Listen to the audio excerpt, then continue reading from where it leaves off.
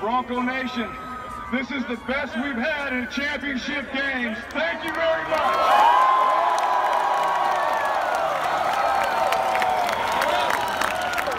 We love playing on the blue and we love playing in front of you.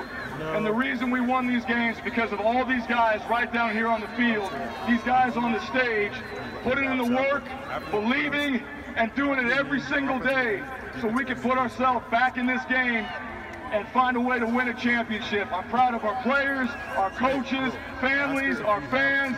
This is where it should be. Thank you, Bronco Nation. You look at that scoreboard, 10 points for that offense. Our defense played great tonight. Thank you. Congratulations, Boise State. Go Broncos! Sonatane,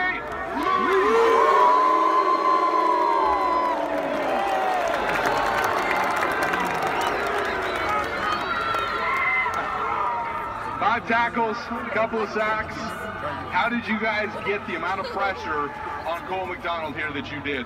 Well, just like Jalen said, uh, it's all it's all glory to God, and uh, really big ups to our, our coaching staff. The defensive coaches really dialed up the plan that will get us in the perfect position to make plays, and we made them.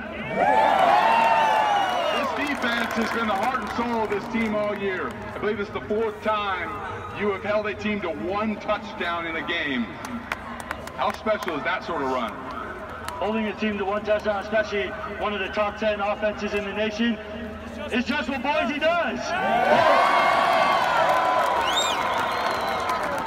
You're up here. You, you guys want to take on anyone in the country. I see you up here with We Want to Bama. This team is feeling it right now. We'll take anyone, anytime, any place, any bowl game. That's the Bronco mentality.